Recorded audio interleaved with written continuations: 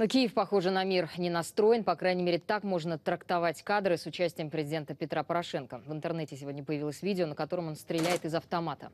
Запись была сделана во время передачи войска новой партии оружия, в том числе вот таких израильских штурмовых винтовок ТАР-21, которые производятся на Украине по лицензии.